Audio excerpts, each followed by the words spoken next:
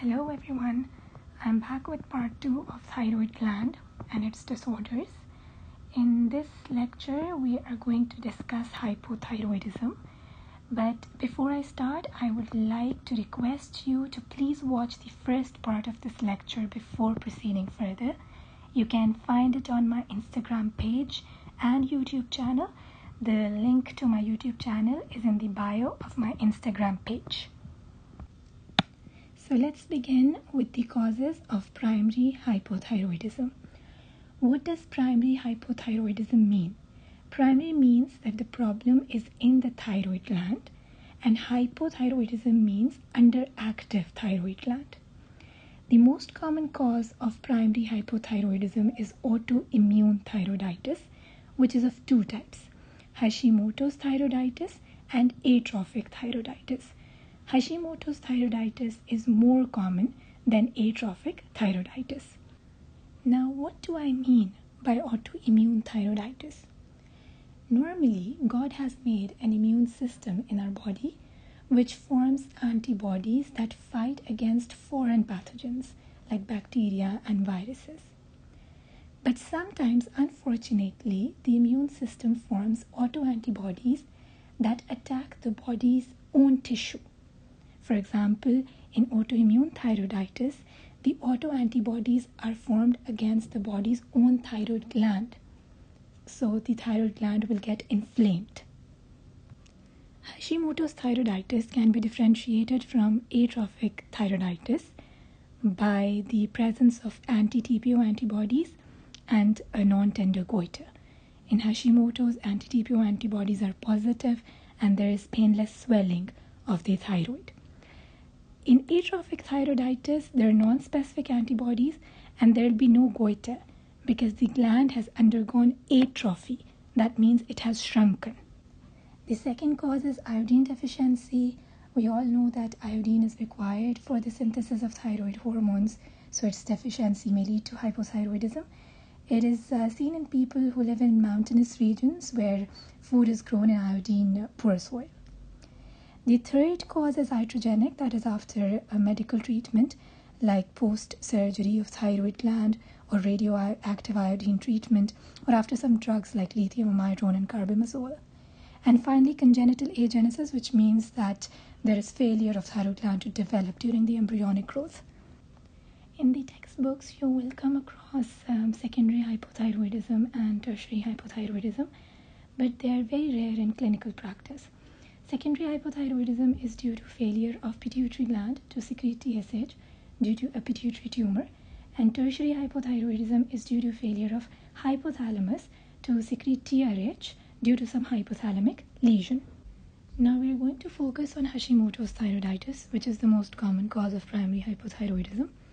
Hashimoto's thyroiditis is named after a Japanese physician, Dr. Hakaru Hashimoto, who discovered it in 1912. It is uh, found in 5% of general population and it is more common in women than men and it is also known as chronic lymphocytic thyroiditis. It is associated with other autoimmune disorders like type 1 diabetes, Addison's disease, and celiac disease. So, you should screen patients for hypothyroidism in these conditions.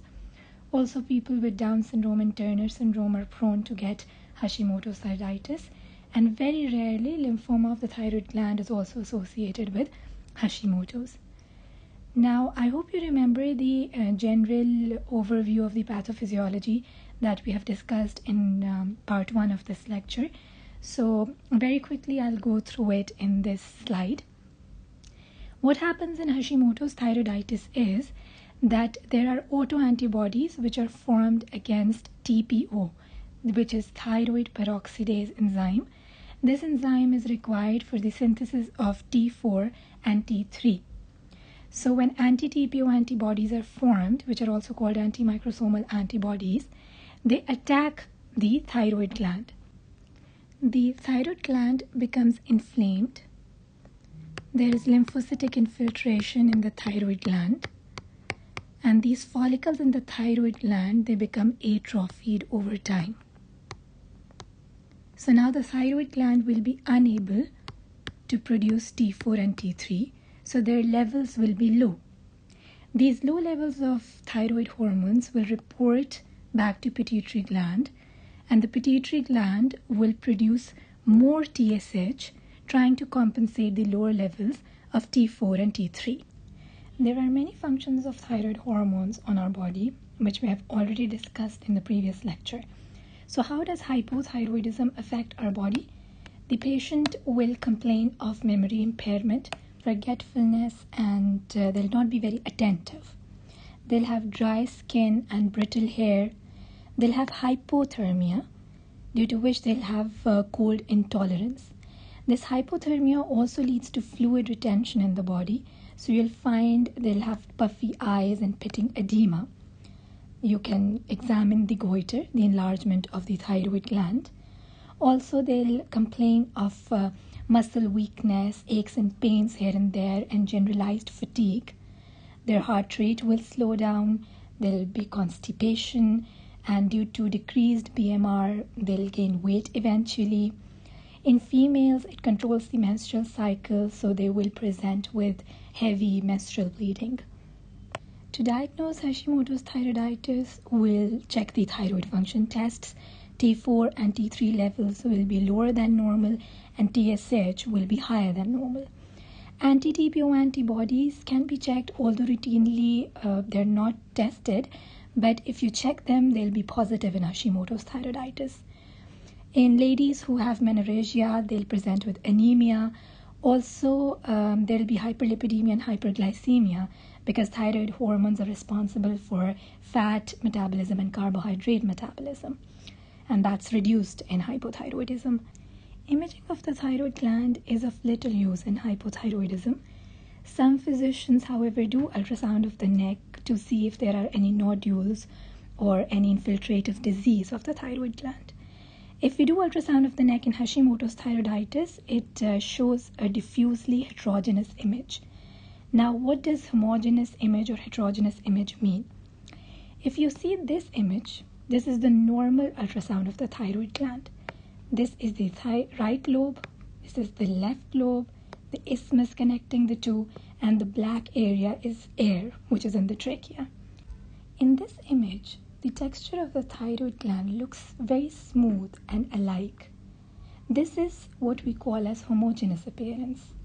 On the other hand, in the second image, which is uh, the Hashimoto's thyroiditis, you can appreciate that the texture doesn't seem very smooth.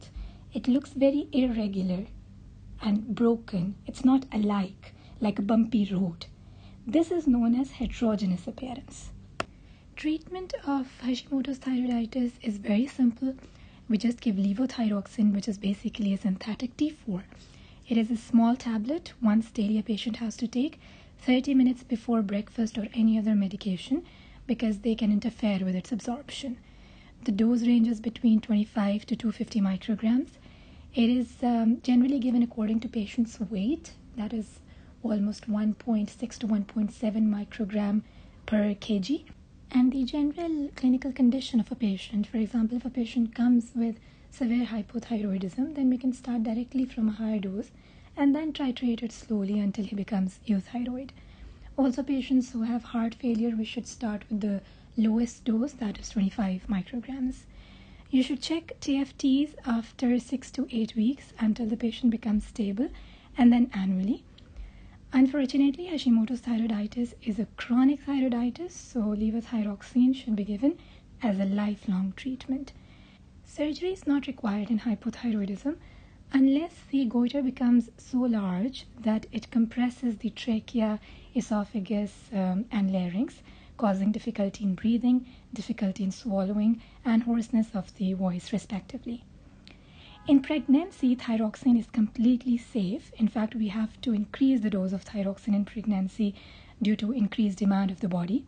Serum TSH levels should be checked in each trimester and then 6 to 8 weeks postpartum. Breastfeeding is also safe while the patient is on thyroxine. That's it guys. I hope you liked the video so please share it with your friends. And if you want to see more videos like this then please follow me on my Instagram page. Also subscribe to my YouTube channel. Take care. God bless you all.